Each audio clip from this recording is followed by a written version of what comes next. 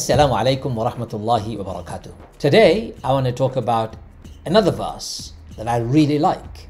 It's called the verse of mercy, where Allah says, كتب ربكم على نفسه الرحمة and Allah has willed upon Himself, He has made it an obligation upon Himself, He has written it down for Himself that He shall be merciful. He will have the law of mercy and grace for Himself. This is found in Surah 6, verse number 12. Surah Al-An'am, that's Surah number 6, verse number 12. Part of the verse where Allah says, كتب ربكم على نفسه الرحمة And Allah has made for Himself a law that He shall govern and He shall have the law of mercy and grace overwhelming His everything that He does. Another verse where He says, وَرَحْمَتي وَسِيَتْ كُلَّ شَيْء and my mercy overwhelms everything. My mercy covers everything. Ladies and gentlemen, the fact that we are alive is a mercy of God. If it wasn't for Allah's mercy, I would not have woken up this morning. When I went to sleep last night, when I went to sleep last night, when you went to sleep last night, your soul left your body.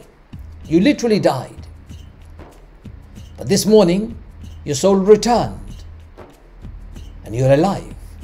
That's a mercy of Allah. The fact that I can talk to you is a mercy of Allah. The fact that I can breathe, I can take a deep breath. My lung is my lungs are full of oxygen. My body is feeling good that I've taken a good lungful of breath. It's mercy of Allah. The fact that you can see me, the fact that I can see my surrounding, I can see the world, the fact that you can hear me, the fact that we can do so many amazing things in life are all indications of Allah's mercy in our life on a daily basis. You know, ladies and gentlemen, I'm wearing a pair of glasses to be able to see properly. That's okay. I'm not too fast, not complaining. But there are many people who don't have any sight. When I think about I have sight, makes me feel humble and grateful. You know, every day we enjoy the immense mercy of Allah through the oxygen that we breathe. Somebody recently was circulating a story that a man during the COVID period was in the hospital and he needed extra oxygen because his lungs couldn't breathe properly. He couldn't take deep breath. So they gave him oxygen. He was in a private hospital in America.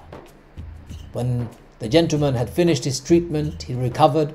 The doctors gave him a bill. In America, you pay for your medical treatment. They gave him a bill of $10,000 or something to that nature. He saw the bill and he started crying. The consultant who gave him the bill said, Sir, would you like me to consider discount? Is it too much? Is that why you're crying? The old man said, No, I'm not crying because of the bill. I'm not crying because of the amount that you're charging me. I can pay that, not a problem. But I'm crying because I have lived almost 70 years on this earth. And for the last 70 years, I've been taking oxygen from Allah for free.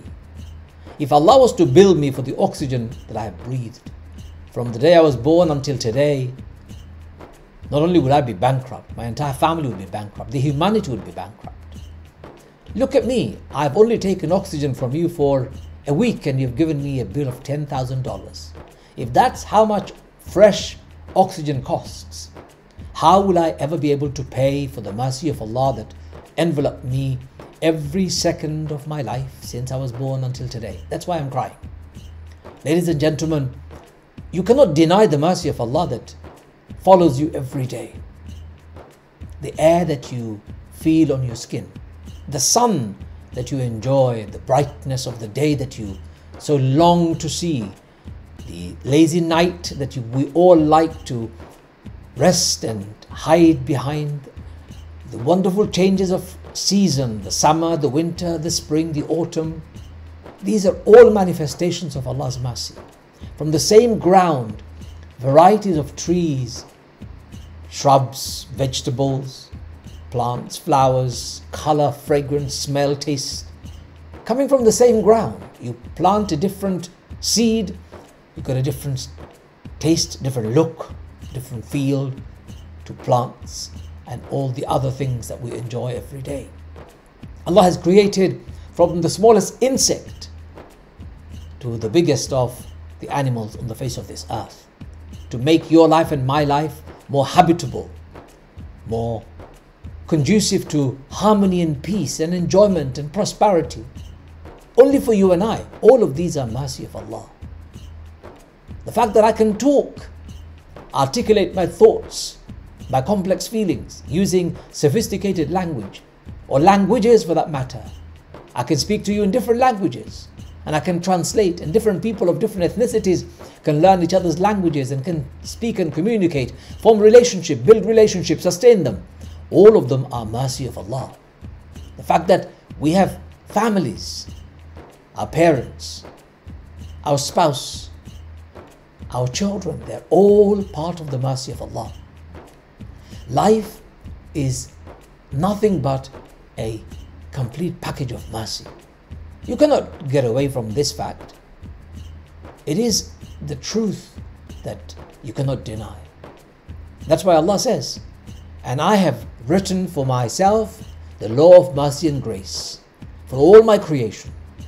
If it wasn't for the mercy and grace of Allah, we won't be here today. Our conversations would not be taking place. You won't be asking, you won't be listening, and you won't be enjoying one another's company or even listening to what I'm saying right now. Pause for a second and look around you and appreciate the mercy of Allah that you have, that you can enjoy for every second of your life. Allah's mercy doesn't only encompass human, it encompasses the plants, the animals. Sometimes we complain, oh, it hasn't stopped raining. Well, the rain has come down for you, of course, but the plants have been crying out for rain so that they can thrive, so that they can make the world lush green, so that the vegetables can come out, so the flowers can come out, so that the fruits can come out, and you can enjoy, you can enjoy the taste and the feel and the smell and the color of it. Yes, plants are crying out for water, and that's why it rains, but it's also for you and I because we need rain to be able to quench our thirst, get the water that is so vital in life. We complain about it being too cold. We complain it being too hot. We often complain. If you pause for a minute and not complain, but appreciate the mercy of Allah that encompasses you on a daily basis, you will see a very different light, a very different light and a very different you. You'll be more positive. You'll be more upbeat.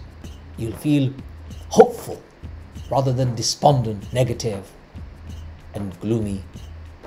You would want to enjoy the blessings of Allah because He has made mercy His inherent law. So we also should be merciful to one another because we are His creation.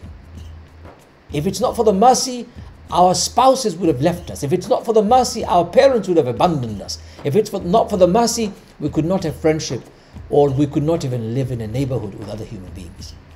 So, not only is mercy a law of nature for Allah, but mercy is an essential tool for our survival. What do we learn from this verse? That no matter what you do, Allah's mercy is always waiting for you.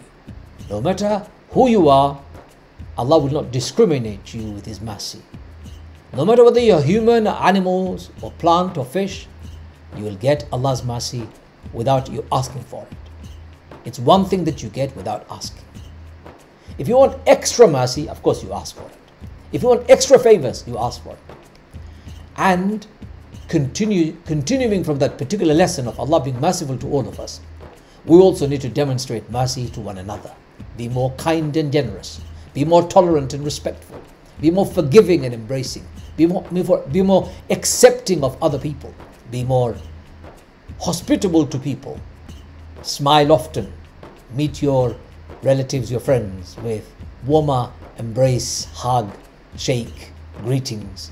Indication of your mercy, indication that you have actually understood the concept of mercy as an essential tool for your survival.